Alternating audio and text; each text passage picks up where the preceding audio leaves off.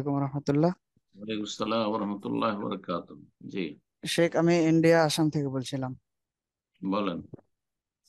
আমার প্রশ্ন হলো শেখ হাদিসে আছে লা তাজালু তাইফাতুম মিন উম্মতি।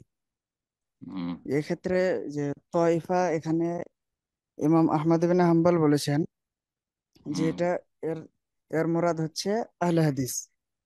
আহলুল তো হাদিস। জি।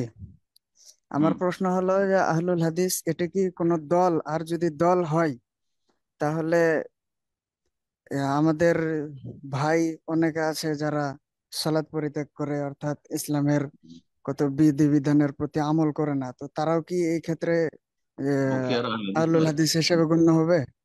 হাদিসে কি নামাজ ছাড়া আছে নাকি যে আহলে হাদিস হবে? আহলুল হাদিস মানে আহলে হাদিস বংশের নয়। কথা বোঝা গেছে? আহলুল হাদিস হইতে হয় প্র্যাকটিসিং আহলে হাদিস। আহলুল হাদিস মানে কোরআন, সুন্নাহর অনুসারী। হাদিস, কোরআন, কোরআনের নামও হাদিস। আল্লাহ নাজ্জাল আহসান হাদিস খায়রুল হাদিস।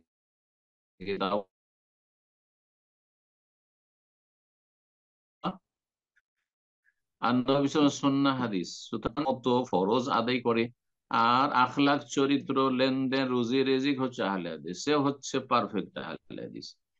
তো এই লাতাজাল তয়ফাত মিন উম্মতি, আমার উম্মতের সংখ্যা লঘু হলেও সারা পৃথিবীতে ছড়িয়ে থাকবে।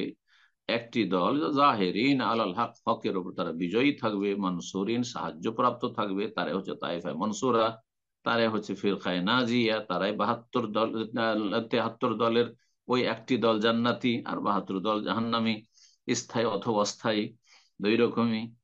বোঝা গেছে, আর এই নয় যে আমাদের দেশীয় শুধু আহলাদিস হইলেই সে এই দলে সামিল হয়ে গেল, না। আহলাদিস হইতে হবে আকিদা, মানহাজে, আবার ইখওয়ানি জামাতি, তবলিগি, আবার আহলে হাদিস আহলে হাদিস বংশের বেশ তবলিগি আছে আহলে হাদিস বংশের জামাতি মৌদুদি আর ইখওয়ানি আছে আহলে হাদিস বংশের জঙ্গি আছে তারা তো ধরে আহলে হাদিস আহলে হাদিস বংশে বেনামাজি আছে আহলে হাদিস বংশের সুদখোর, ঘুষখোর, বেঈমান আছে খনি আছে, চোর আছে, ডাকাত আছে আহলে হাদিস ধরে এরা না নাই কথা বোঝা গেছে। প্রথম আকিদা মানহাজ আহলে হাদিস হইতে হবে, তারপর অন্যান্য গুলিতে। এবার বোঝা গেছে, তো আহলুল হাদিস সালাফরা বলেছেন মানে এই আমাদের এই নামকরণ হয়ে গেলেই হয়ে গেল। না না না, আহলুল হাদিস হইতে হবে প্র্যাকটিসিং আহলে হাদিস। হ্যাঁ আবার বলছি আকিদায় এবাদ বন্দীতে আখলাক চরিত্রে, মামলাতে, যে আহলে হাদিস সে হচ্ছে আহলে হাদিস।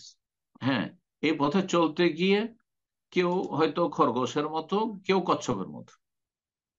কোরআন হাসনার পথেই চলার চেষ্টা করছে, কিন্তু আশা করি আমার উদাহরণটি বুঝতে পেরেছেন যে কেউ খরগোশের মতো, অর্থাৎ অগ্রণী ভূমিকা আছে মাশাল্লাহ আকিদাও একেবারে নাজও সুন্দর, আর তার ইবাদতবন্দি তো বেশ সুন্দর, আখলাক চরিত্র, আর রুজি রেজিকে সুন্দর, আর কিছু আছে, গাফিলিতে আছে, বিভিন্ন পাপ আছে, কিন্তু একেবারে ইয়ে নয় যে বিভ্রান্ত, বেনামাজি বেনামাজি কিসের আহলে হাদিস রমজান মাসে রোজা রাখেন কিসের আহলে হাদিস আর তারপরে ও বেদাতি দলের সমর্থক হ্যাঁ সে কিসের আহলে হাদিস জঙ্গি আবার আহলে হাদিস নাকি? অসম্ভব কথা।